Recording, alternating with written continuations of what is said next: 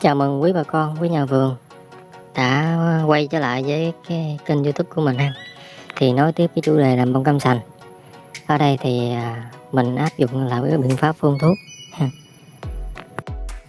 Thì nói tiếp cái chủ đề làm bông cam sành Thì à, hôm nay là cái cử à, thứ bảy. Đây là cử thứ bảy sau 6 đến 7 ngày phun Và hiện trạng trà chết cũng như là hiện trạng lá nó rụng cũng như là cái hiện trạng gì đó. Làm sao? Như thế nào? Thì mọi người cùng tham quan dài dòng. Ha, trước khi tiếp tục với cái vấn đề đó là đi thuốc, làm sao để ức chế cũng như là khống chế hiện trạng suy đỏ như vậy? Ha, cũng như là đi thuốc làm sao mà hạn chế tối đa được cái cái cái tỷ lệ chết trà ha, và đi thuốc như thế nào để mà nó có cái nụ mầm? Nó ra được cái nụ mầm phải nói là ổn định ha. Thì trên đây là một số cái cái loại thuốc tham khảo cũng như là cái to tham khảo cụ thể. Thì mình ở đây mình nêu ra là đối với quý nhà vườn vừa mới tiếp cận quý nhà vườn mới tiếp cận cái cây cam sành này. Còn riêng với nhà vườn thâm niên lâu năm thì người ta sẽ có cái hướng đi khác ha, người ta có cái kỹ thuật đi khác.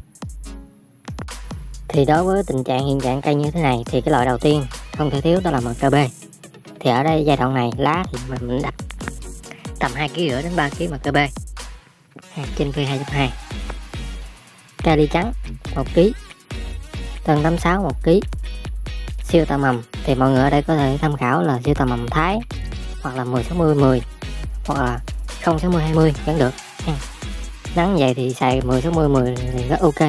Thì đều sử dụng một kg trên 1 phi 52 ha và tiếp theo đó là gì? Đọt nhầy thì chúng chúng ta lưu ý nếu đọt sụng thì nửa ký đọt không sụng thì một ký một phi. Ha. và ct 36 ha. là một bịch. Ha. lưu ý. Cái to này là cái to đại trà. Ha cũng như là cái một có một số cái nhãn loại độc quyền riêng bên mình thì ai có thắc mắc gì?